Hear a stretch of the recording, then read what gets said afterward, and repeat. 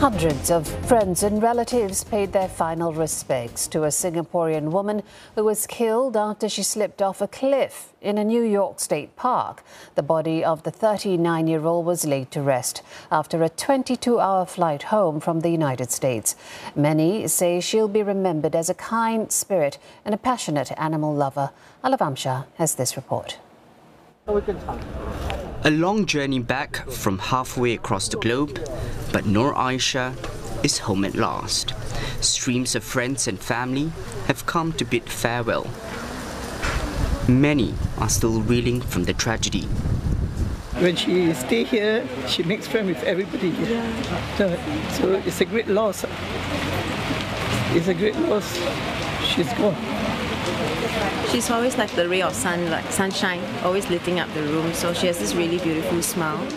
Miss Aisha died after falling 30 meters from an icy cliff in a New York State Nature Park. Those tragic moments unfolding before the eyes of her husband Ralph Syed as hours of rescue efforts came to nothing. Today, he's a husband in deep grief, sending the woman he calls his soulmate off on her final journey. He's too distraught to speak to us on camera, so a friend is doing so on his behalf. He has taken the time to process it slowly. Uh, he has received a lot of support from not just people in the US back then, with some of the uh, people who were helping with the late ICE. Uh, he also received a lot of uh, support from ICE's friend who was in the US who flew in to meet with Ralph, and also, of course, the, the sisters and his family members who were all the way with, with him. Mr. Farhan says Miss Aisha would often adopt stray cats and has 40 at home.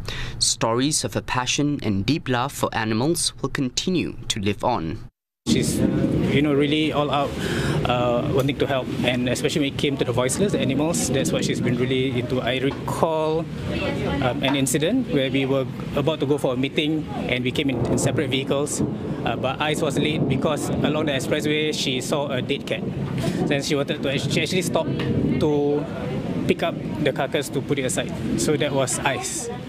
The same US park that Miss Aisha fell from had previously claimed two lives in 2021 and 2015.